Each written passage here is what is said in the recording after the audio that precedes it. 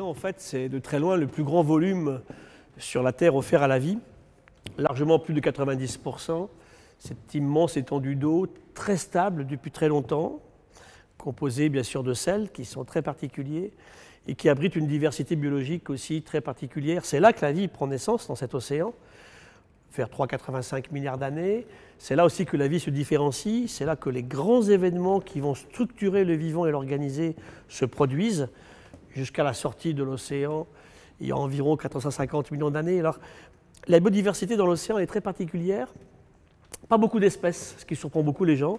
Aujourd'hui, déposées dans nos musées, on en connaît un peu moins de 250 000, alors qu'on connaît à peu près 2 millions d'espèces sur la Terre aujourd'hui. Donc 13% d'espèces marines, 23% dans les sols par exemple. Alors pourquoi un si grand volume avec aussi peu d'espèces? Ceci est lié à deux choses. Peut-être qu'on connaît moins l'océan, ça c'est une possibilité, et donc on sous-estime la biodiversité marine, mais aussi la stabilité de l'océan depuis très longtemps, et surtout sa connectivité, tout en relation avec tout, font que tout est assez particulier comparativement aux écosystèmes terrestres. Il y a beaucoup moins d'endémisme, hein. on vit là et nulle part ailleurs dans l'océan que sur les continents. Par contre, les espèces sont particulières. Hein. les continents sont surtout peuplés d'arthropodes, hein, des insectes, et puis de vertébrés, alors que dans l'océan, on trouve beaucoup de groupes très ancestraux, apparus il y a très longtemps.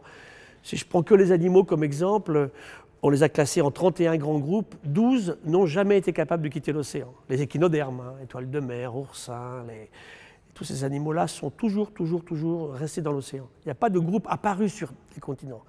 Tout part de l'océan, certains en sortent, d'autres y restent en permanence. L'océan aujourd'hui, il, fait l'objet d'exploitation de ressources vivantes à partir de la biodiversité.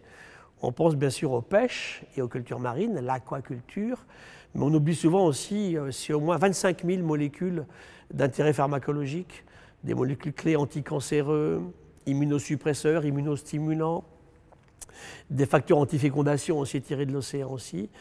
C'est aussi des modèles pour la recherche. Hein. Je raconte souvent euh, la molécule clé du cancer, la compréhension du phénomène de cancérisation.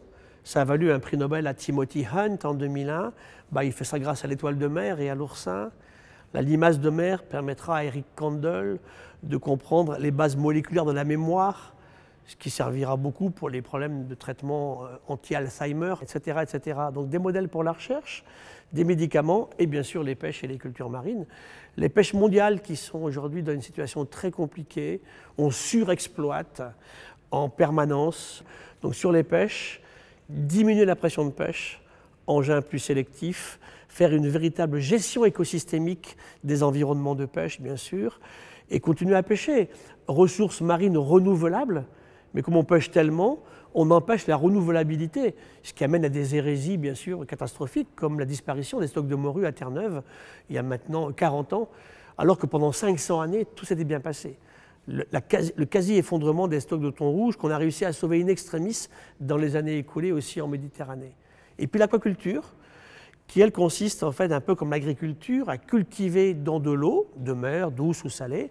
Alors le vrai défi pour l'océan, c'est la température qui augmente, la pollution, la surpêche et aussi l'acidification, qui est un grand problème que l'on a en ce moment, lié au CO2, qui, lorsqu'il ne se maintient pas dans l'atmosphère, va se dissoudre dans l'océan. Donc un gros effort à faire pour l'océan aujourd'hui.